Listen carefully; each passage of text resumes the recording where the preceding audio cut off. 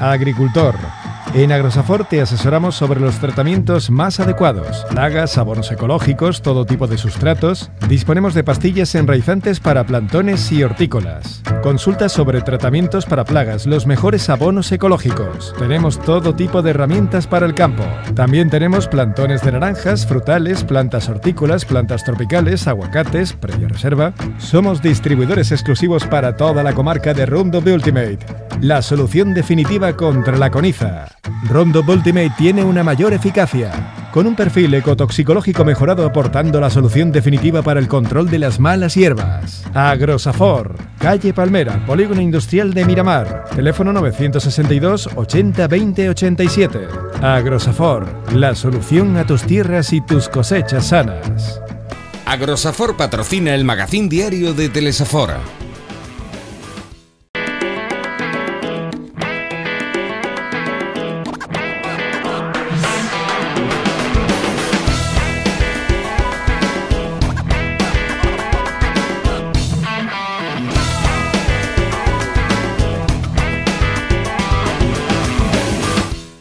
Sé que quieren tener la mejor fibra y la mayor velocidad en sus casas, pues ahora lo tienen más fácil que nunca porque en Adamo en primavera la fibra es gratis. Simplemente tienen que llamar gratuitamente al 1600 y contratar una línea móvil y con eso en primavera la fibra gratuita. Además, si les apetece ver Gambito de Dama, Stranger Things o cualquier serie o película de Netflix, durante tres meses lo van a tener totalmente gratuito. Simplemente tienen que decir que lo han visto en televisión. Y una cosa más, si no fuese suficiente, y es que tienen hasta cuatro meses de descuento simplemente llamando gratis al 1600 y diciendo que han visto este spot en televisión. En Adamo, la fibra es gratis en primavera.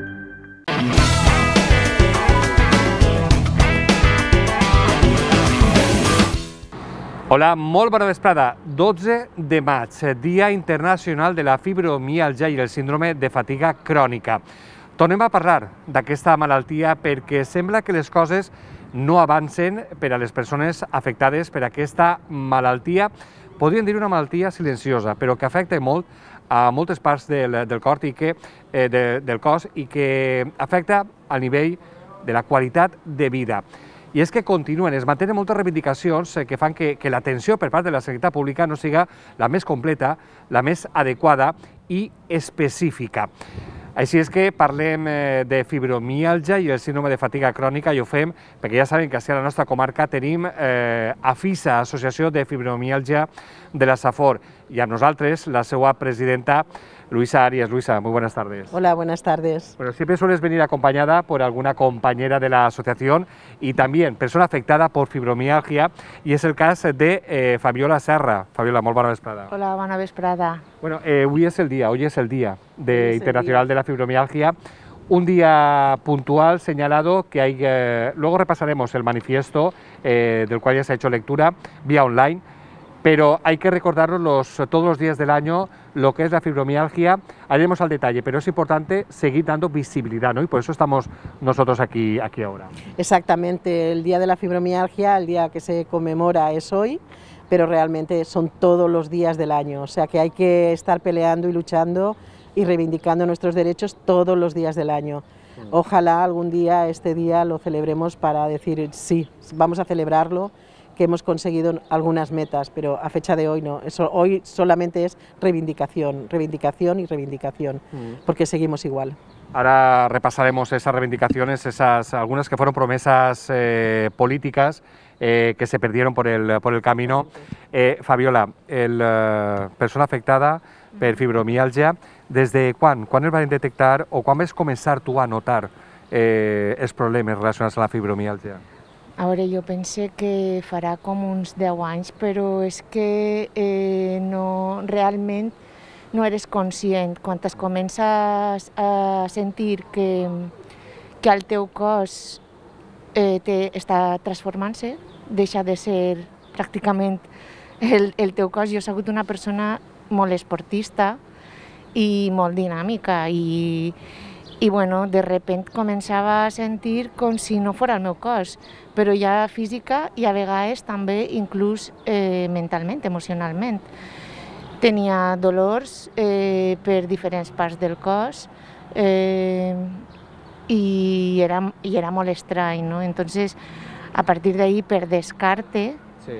eh, pues al final s'arriba a, la, a la conclusió o al diagnòstic sí. de que estic afectada de fibromialgia i comencé a assabentar-me un poc de la malaltia, de, de un poc també de com combatre-la i una de, de les dels instruments, de les eines fortes que ha sigut també per a combatre-la ha sigut a FISA, no? Sí. Conèixer a FISA i veure la tasca que, que estan fent eh, dins de l'associació, perquè jo realment eh, sóc novata en l'associació, perquè encara que des de fa molt de temps que a lo millor estic acusant eh, irregularitats en el meu cos, fins que eres conscient, passa, passa tot un, una eternitat, no? Sí. I fins que trobes també una associació i tal que el recolze, pues una altra. I bé, en, ella, en allò estem. Eh, ahora parece que damunt, si la atención médica no acompaña a ese, a ese sufrimiento, es decir, no sé qué es lo que me pasa, eh, porque ya entramos un poco a las reivindicaciones, eh, mucho tiempo después de las primeras charlas que hemos tenido, Luisa, eh, seguís, por ejemplo, sin unidades multidisciplinares de, de las patologías relacionadas con la fibro, fibromialgia. Esas unidades eh, multidisciplinares específicas que siguen sin existir siguen sin existir y ya no eso solo, sino hace un tiempo recibimos una, un escrito de la Consellería de Sanidad avalando los técnicos de la Consellería que eh, este colectivo no necesita unidades multidisciplinares porque es una enfermedad que no se investiga, que no, se que no sale, no se manifiesta por ningún signo, ninguna prueba, con lo cual no tenemos derecho a, a, tener ninguna unidad multidisciplinar, que solamente nos tiene que llevar el médico de, de familia, el médico de medicina familiar, y nos tiene que llevar salud mental. Con lo cual seguimos en las mismas. Todas las proposiciones no de ley, lo que desde aquí sí que le reclamamos a la Consellería es que las proposiciones no de ley no se aprobaron solo por fibromialgia, sino por síndrome de fatiga crónica, sensibilidad química múltiple, o sea, enfermedades, síndromes que van asociadas a la alteración del sistema nervioso central. Con lo cual, eh, se basan solamente a respondernos en una, en la fibromialgia, pero de las demás no se han dignado ni tan siquiera responder se basan solo en eso, en que la fibromialgia para ellos no existe y que no tenemos derecho a eso. Y todavía se está complicando mucho más con el tema COVID. Ah, que ese es otro punto que ahora en, este, en lo que es en estos años de, en este año que llevamos de pandemia es lamentable, lamentable. Yo desde aquí, como asociación, queremos trasladar sobre todo a ese personal sanitario que ha dado mucho su vida, que han luchado, que están luchando, por poder ayudar a todas las personas que hemos sufrido COVID. Y más hoy, que hoy es también conmemoran su día, es el Día de la Enfermería, por eso se, se conmemora el día 12 de mayo también. Desde aquí darles la enhorabuena por la labor que están haciendo, sobre todo en este año tan duro de pandemia y con tan poco material sanitario para poder prevenir la infección en ellos. Mm. Eh, claro, yo he hecho referencia a esas unidades multidisciplinares que siguen sin existir. Es la primera, el primer punto reivindicativo del manifiesto de, por, este, por este día. El segundo es, seguimos sin investigación, sin protocolos actualizados y sin profesionales de la salud pública preparados. Exactamente. Hay muy poquitos, muy poquitos en la salud pública, muy pocos, se pueden contar. La pelea que tiene directamente el colectivo día a día es las mismas preguntas nos hacen a las asociaciones, ¿a qué médico puedo acudir? ¿A qué reumatólogo puedo acudir? ¿A qué médico internista puedo acudir que nos entiendan, que conozcan estas enfermedades? Y nuestra respuesta es a muy poquitos. Realmente todos los que realmente tienen conocimiento de ellas están en la sanidad privada.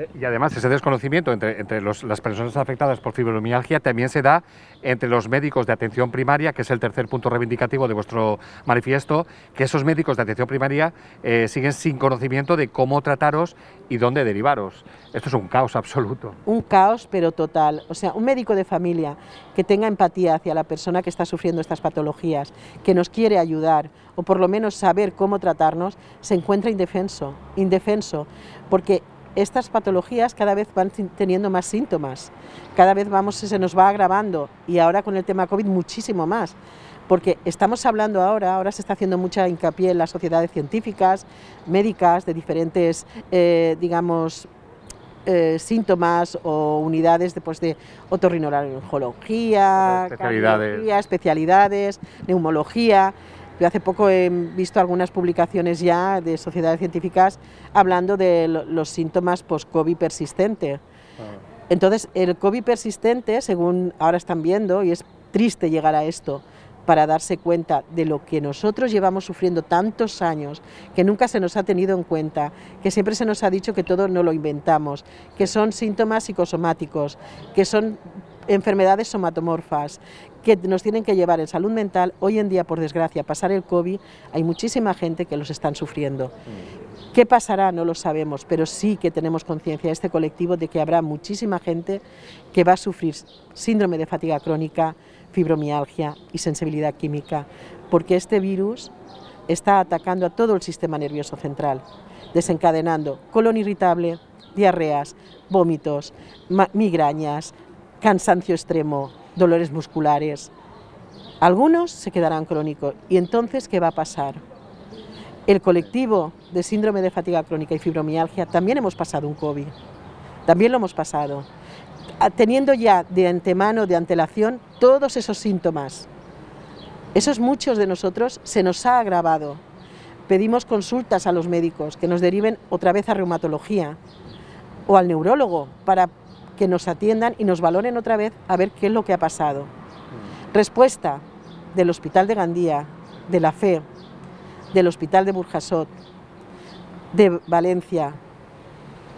Como hay diagnóstico ya de fibromialgia, salud mental y médico de familia.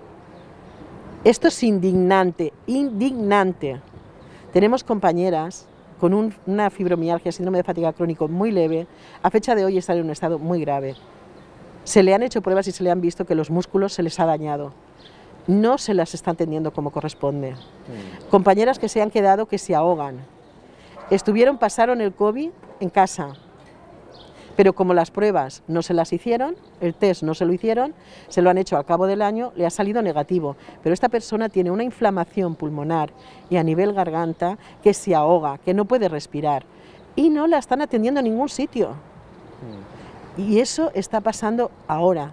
Y es muy triste. Nosotros somos un colectivo olvidado, marginado por la sanidad pública, maltratado por la sociedad. Y ahora con tema COVID todavía somos más, porque nosotros no contamos para los, las, las secuelas post-COVID. Porque como ya son de fibromialgia, ¿para qué nos van a visitar? Claro. Eh, estamos, acabas de hacer referencia a esa situación física y a la situación mental también, y antes, eh, Fabiola, tu has fet referència també a aquestes conseqüències eh, mentals, i això es du a parlar de l'últim punt reivindicatiu a motiu del dia d'avui. Eh, seguimos siendo derivados a salud mental y unidades del dolor en donde nos comentan que no pueden tratarnos mejor por la dificultad que conlleva la fibromialgia a la hora de localizar el dolor puntual. Eh, això, el dia a dia, complicat i cal insistir en, en, en la falta d'interès, de, de, de voluntat per, per millorar aquesta atenció tant per a les conseqüències físiques com els efectes mentals que comporta totes aquestes patologies derivades de la fibromialgia del dia a dia. Sí, jo penso que, que Luisa ho ha explicat molt, molt clarament i de manera molt contundent i, i sí, és cert, i a més a més s'agreuja quan hi ha cicles. Tens cicles que estàs millor i tens cicles que, que s'agreuja molt tota la patologia, vull dir-te, mesclada. Eh, a nivell mental eh, influeix molt pues, l'estat d'ànim i també els lapsus que, eh, que el dona, com si foren talls que intentes dir, eh, seguir una conversa, eh, recordar un nom i de sobte desapareix. I són xicotets lapsus que, eh, que es comences a, a plantejar-te, bueno, què m'està passant? Vull dir-te, si jo recordava tot, si jo sabia el nom de d'este actor o sabia el nom d'aquesta cosa que volia dir i de sobte, pum, se m'ha anat. Vull dir, això a vegades pues, t'afecta, ho has de combatre de la millor manera possible, però sí que és cert que amb ajuda seria tot molt més fàcil i que l'atenció d'aquesta malaltia, que està molt estigmatitzada, perquè s'associa a, a persones malfeineres. Sí. I jo penso que és tot el contrari, precisament. Jo he estat descobrint, perquè jo no en sabia res d'esta malaltia, a mi m'ha vingut tot de colp, no? I a partir de, del meu encontre a Nafisa, he començat a conèixer a les dones, quasi totes són dones, simptomàticament, eh, que estan allí, i és curiós que eh, siguen dones, eh, quasi totes. Les dones tenen una entrega molt forta de cara a eh, entregar eh, la, el, el seu treball a la família, eh, a, a, a, a la solidaritat també. Les dones saben que tenim eixa entrega. No vol dir que els homes no la tinguen, evidentment, però és, és simptomàtic, que vull dir, és curiós que tot el que n'hi hagi allí siguen dones. I, i, est, i estic veient els perfils de les dones que, en les que m'he trobat i pense que són grans lluitadores. Per a mi són, són un exemple a seguir, eh? grans lluitadores de dones que estan, en moltes d'elles, en casa sense poder-se moure's, que ara en tot el, el transcurs de la Covid en, les, en el qual no s'han pogut reunir des de l'associació s'ha reinventat per tal de ajudar a cada una d'aquestes persones a través de les noves tecnologies i fins i tot eh, persones que, que dius, ostres, que batalladores, no? S'han ensenyat, eh, han après a través dels familiars, a través d'altres companyes, eh, s'han buscat la vida, vull dir, no són gent malfeinera, és gent que està patint una malaltia i que vol eixir d'ella, evidentment, i que aquest estigma, eh, i com tots els estigmes que hi ha, tant siguen a nivell d'igualtat com a nivell de patologies, eh, s'han d'acabar per, per créixer, no? per créixer en societat i per ser millors persones. Però ningú vol estar malament i ningú vol estar estigmatitzat, siga quina siga la seva raó. I, i és això. Estigmes, prejudicis eh, que fan molt de, molt de mal. Eh, estamos llegando a la recta final del programa. Eh, comentaba Fabiola el uso de esas nuevas tecnologías para superar esta situación de la falta de, de poder eh, reunirse físicamente y, y, esto nos lleva a hacer referència, bueno, si vostès estan veient-nos en la primera edició d'este magazine, és a a les 14 hores, a les 2 de la vesprada, arriben a temps eh, per a seguir eh, participar en, en una webinar que diem avui en dia, amb una xarra online eh, a través de les xarxes socials eh, per a sobre eh, aquesta malaltia amb motiu del Dia Internacional de la Fibromialgia i el síndrome de fatiga crònica. Eh, toda la información, ahí participáis varias, eh, toda la comunidad, eh, en la comunidad valenciana, FEDAFI, que es la nacional con sede en esta comunidad, participáis varias asociaciones, entre ellas, bueno, tú doble parte, ¿no? Como FEDAFI, como también AFISA. Eh, participáis en esa charla que tendrá lugar a las 17 horas de esta tarde no, del el, día 12. Perdona, o... El sábado 15. Ah, el sábado, el sábado 15, 15, efectivamente, con motivo del día de hoy. Así es que, pues sí, prenguin nota, dissabte 15, el pròxim dissabte, a les 5 de la vesprada, apareix en pantalla la, el nom de la pàgina de Facebook del, de la AFISA, que ahí está toda la, la información para participar en esta charla del próximo sábado, que quede bien claro, yo me había engañado. Sí, sí, vamos a contar con dos grandes profesionales, jurídicos y, de, y médicos. Vamos a contar con el doctor Manuel Blanco Suárez, que es especialista en medicina interna, licenciado en Medicina y Cirugía por la Universidad de Sevilla y especialista en Medicina y es director de la Unidad de Fibromialgia y Fatiga Crónica del Hospital Viamed Santa Ángela de la Cruz de Sevilla. Sus trabajos como investigador se centran en sus dos líneas de especialización, el estudio de síntomas relacionados con histaminosis crónica y los avances terapéuticos para los manejos de estos síndromes fibromiálgicos. Es un gran investigador, es un gran médico y es el director de la uni, una unidad pública de la, de la comunidad andaluza. Ah. O sea, estábamos hablando que, como nos dicen en muchas comunidades, es que no existen unidades, sí existen.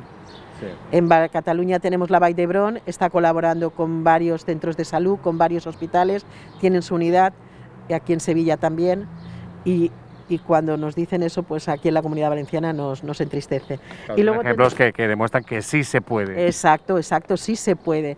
Y luego vamos a contar también con Alejandro Rusiñol, uh -huh. que es apasionado por el derecho social, director de Tribunal Médico Copyright, donde va, va a, a, trasladar pues todo lo que conlleva las incapacidades, las minusvalías y todo esto, donde la gente a través de Facebook también va a poder realizar sus preguntas, sus dudas, sobre todo eso. Será en directo, lo podrán hacer totalmente sin ningún problema y podrán, esto se hace desde la federación, es la Federación Valenciana FEDAFI, donde estaremos todas las asociaciones que la componemos. Entonces es algo interesante y que la sociedad no debería de perderse. Y, sobre todo, eh, tanto consellería como personal sanitario y profesionales no deberían de perderse esto. La verdad es que no. Y tomar buena nota. Y tomar nota, sobre todo eso, tomar nota y empezar a conocer que realmente esto está ahí.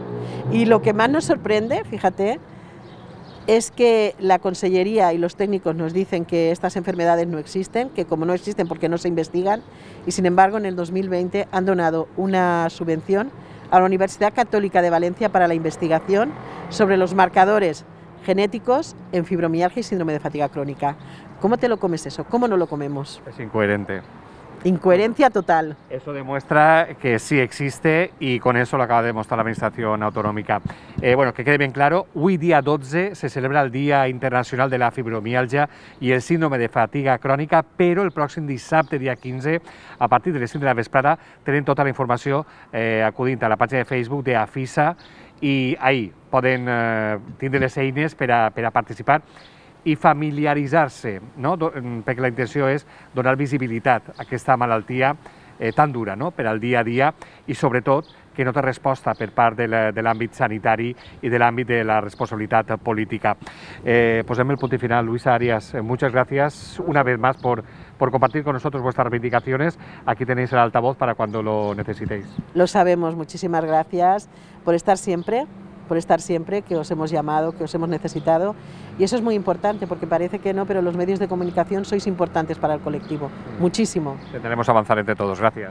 Gràcies a vosaltres. Fabiola, moltíssimes gràcies com a membre de FISA, com a persona afectada per eh, fibromialgia, eh, per compartir la teua, la teua experiència i, sobretot, eh, per ajudar a aquesta visibilització de la, de la fibromialgia, que és tan important per a prendre consciència totes i tots. Moltes gràcies a vosaltres. És molt important donar-nos visibilitat. Gràcies. gràcies.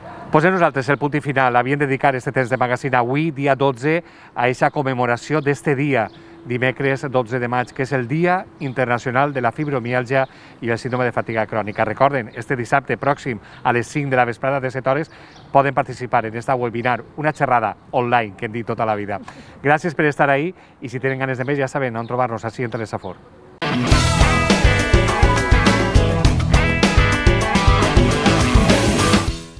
Sé que quieren tener la mejor fibra y la mayor velocidad en sus casas, pues ahora lo tienen más fácil que nunca porque en Adamo en primavera la fibra es gratis. Simplemente tienen que llamar gratuitamente al 1600 y contratar una línea móvil y con eso en primavera la fibra gratuita. Además, si les apetece ver Gambito de Dama, Stranger Things o cualquier serie o película de Netflix, durante tres meses lo van a tener totalmente gratuito. Simplemente tienen que decir que lo han visto en televisión. Y una cosa más, si no fuese suficiente, y es que tienen hasta cuatro meses de descuento simplemente llamando gratis al 1600 y diciendo que han visto este spot en televisión. En Adamo, la fibra es gratis en primavera.